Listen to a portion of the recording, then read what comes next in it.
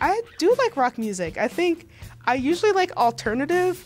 Um, I've been into like what people would consider emo, so like um, Fall Out Boy, My Chemical Romance, uh, All Time Low. But I love bands like The Strokes, Radiohead, uh, MGMT, that kind of stuff.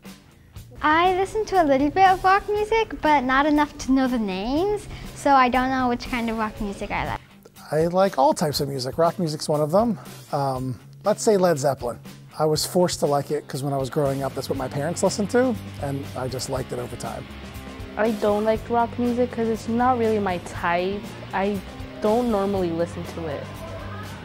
I'm not sure why I like rock music. Rock music is really like versatile, so it's not really just one thing. It's like you can have somebody who's playing like a sick like guitar or something, and then you can have something else where somebody's like screaming into the mic, and it's all cool to me. I don't know, it's soothing. I know the lyrics, so it lets me think about nothing as I sing along to them. Taking out all my energy or anger out. I mean, it kind of depends on which kind of rock music.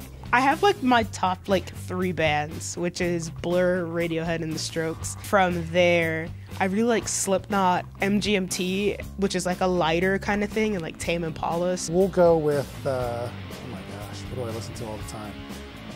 Rock music. We'll, we'll, say Pink Floyd. There we go.